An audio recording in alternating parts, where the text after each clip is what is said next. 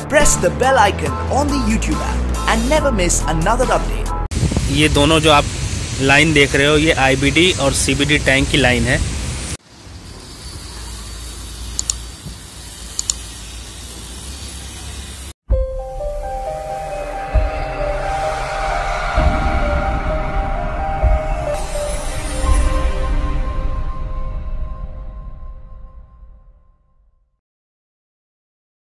ये एक drain line की सर्किट है, इसे यहाँ पर रखा गया है और बाकी को दूसरी साइड रखा गया है, वो भी मैं आपको दिखाता हूँ। दूसरा ड्रेन लाइन का सर्किट यहाँ पर रखा गया है। ये पहले वाले से थोड़ा बड़ा है, इसमें तीन कंट्रोल वाल्व लगे हुए हैं। ये जो आप ट्यूब देख रहे हो, ये भी ड्रेन लाइन की ट्यूब है, इसमें भी वाल्व लगे हुए हैं, ये सामने की तरफ़। ये सबसे बड़ी लाइन है, ये भी ड्रेन लाइन है। यहाँ से लेके वो सामने की तरफ़। एक ही बार में कट करके हम लोगों ने इसे रिमूव कर दिया है। और तीसरा वाला ड्रेन लाइन का सर्किट यहाँ पर रखा है हम लोगों ने। इसमें भी एक वाल्व लगा हुआ है।